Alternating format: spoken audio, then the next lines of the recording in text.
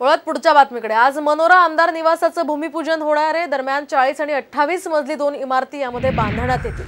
तर प्रत्येक आमदारासाठी एक हजार चौरस फूट क्षेत्रफळाची सदनिका यामध्ये पुरवली जाणार आहे. तर मुख्यमंत्री उपमुख्यमंत्री विधानसभा अध्यक्ष उपसभापती यांच्या उपस्थितीत हा सोहळा पार पडणार आहे.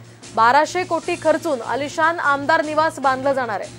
सुमारे चार वर्ष काम रखडल्यानं या आमदार निवासाच्या प्रकल्पाचा खर्च सुमारे चारशे कोटींनी आता वाढलाय.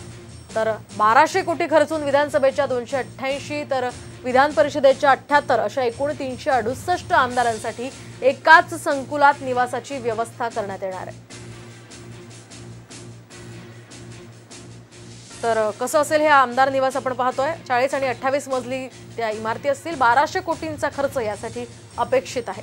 तर तीनशे अडुसष्ट आमदारांसाठी एकाच संकुलामध्ये निवासाची व्यवस्था करण्यात येणार आहे. चार वर्ष हे काम रखडल्यानं चार कोटींचा खर्च आता वाढणार आहे. दरम्यान आमदारांना प्रत्येक एक हजार चौरस फूट क्षेत्रफळाची सदनिका दिली जाईल. तर अशा प्रकारचं हे आमदार निवास असणार आहे.